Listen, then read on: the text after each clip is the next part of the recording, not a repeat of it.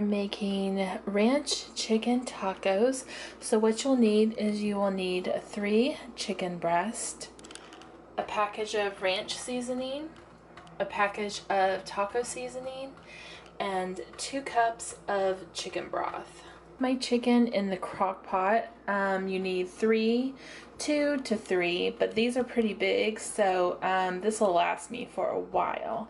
So what we're going to do now is we are going to sprinkle on our taco seasoning. Sprinkle on the taco seasoning just all over the chicken breast.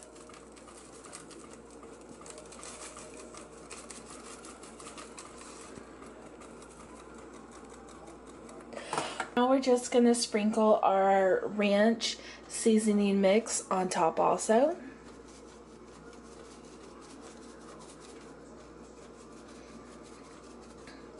And you don't really need to add any salt or pepper because the taco seasoning will really season that chicken for you. Now we are just going to add two cups of chicken broth. And if you want to add a little bit more just to make sure it's all covered, you can. We have our three chicken breasts with one package of taco seasoning and one package of ranch seasoning and two cups of chicken broth. So we're just going to put our lid on and we're going to cook it on low for four to six hours. I usually cook it for the total six hours chicken has been cooking for about five hours. So I'm just going to remove it from the liquid and shred it and put it back in there to cook for the one more hour that we have.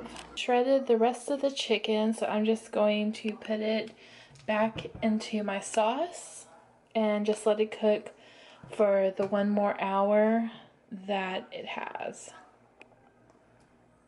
Six hours and this is our finished product of the ranch chicken tacos so um, the only thing you have left to do is heat up some flour tortillas or some taco shells and then just put some cheese on it and you're good to go. So I hope you enjoy this recipe. If you like it, give it a thumbs up or leave a comment down below.